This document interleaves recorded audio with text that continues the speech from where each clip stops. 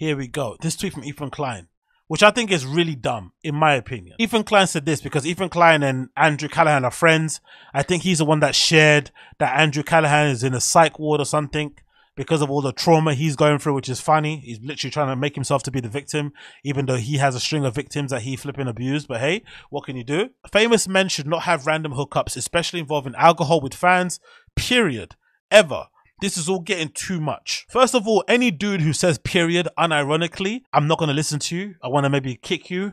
I want to maybe push you in front of a moving car, or I want to trip you or something, right? No, no man worth their worth it, worth their weight in salt should be sitting there saying period unironically. Get yourself a hobby, kick a ball, throw a ball, learn a martial arts or something, right? Like, yeah, you need to go to the Brendan Schaub School of Alpha Males or sign up to an Andrew Tate class. Like, don't be doing that. Secondly, I just think this is naive and really kind of um doesn't operate in the real world because unfortunately, this isn't an issue of famous people. This more has to do with the issue of people just not being creeps. That's all it should be about. It should always be about creeps and agency. If you're a girl and you're going to meet somebody, you should have enough agency where you're not being coerced into sleeping with somebody. No matter how famous, no matter how much they ask, if nobody means no, you should be saying no and remove yourself from the situation immediately. You shouldn't be in any position where somebody can coerce you into sleeping with them. That's insane. Secondly, if you're a guy, you shouldn't be. You shouldn't be in any way, shape, or form trying to convince anybody to fuck you either, right? It shouldn't be a convincing thing.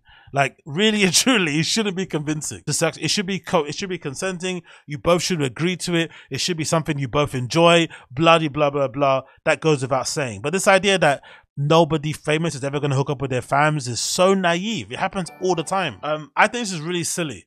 If anything, the message should be to all men out there: no means no. And also, this should be a lesson to some guys because some guys didn't understand that sexual assault or sexual harassment could be continually asking somebody for sex when they say no. So now you all know. If you didn't know beforehand, you know now clearly.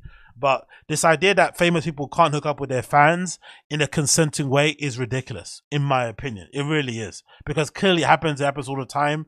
The issue isn't with fans, the issue is with guys not taking no for an answer. And the issue is also with girls, for however reason, being okay with giving in to somebody when they keep asking for sexual favors. It's like, no especially if you're a grown adult. If you're a child, fair enough, it's a bit different. Maybe not mature or maybe not well adjusted socially. But if you're a grown up, you should in no way, shape, or form be coerced into fucking somebody. That's insane.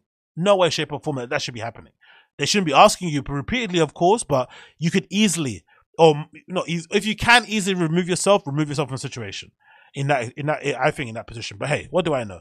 And of course he's fighting for it. Someone said here that I agree with. Do you don't you see how this is um um horseshoed into the enforced monogamy, uh, sobriety, wholesome.